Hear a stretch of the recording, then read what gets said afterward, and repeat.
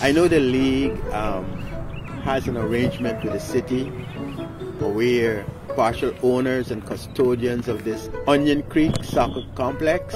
I think it's a great complex. It's uh, it's expensive to maintain, but we do our best, and uh, it's good for soccer because the fields are smooth, they're they're well maintained, and um, everything facilitates good soccer play.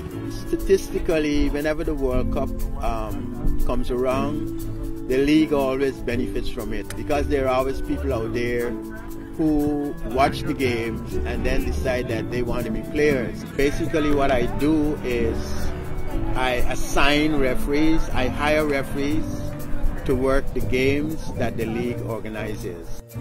He's super dedicated. I think you have to be. I think you have to love the game to be around it and as dedicated as, as Aubrey is. Because it's a, it's not just a signing during the week. He's out here every Sunday um, for all days, as far as I can tell. And it's a, it's a big commitment. So he, I know he loves it. Every Sunday, I think the players just look forward to the opportunity of coming out here and competing in the different divisions and, and having fun. It's a very inclusive league. I've just always been really connected and passionate about playing. I love the game.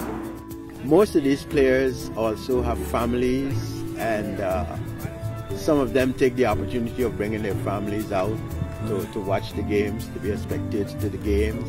Austin loves soccer, and I've seen it grow. And I've been in Austin 15 years, um, and like last World Cup was a good example of going out to bars and it just having a huge following, and then and even out here, like men's league is maxed out. So there's always uh, renewed and increased interest in the game when the World Cup comes around.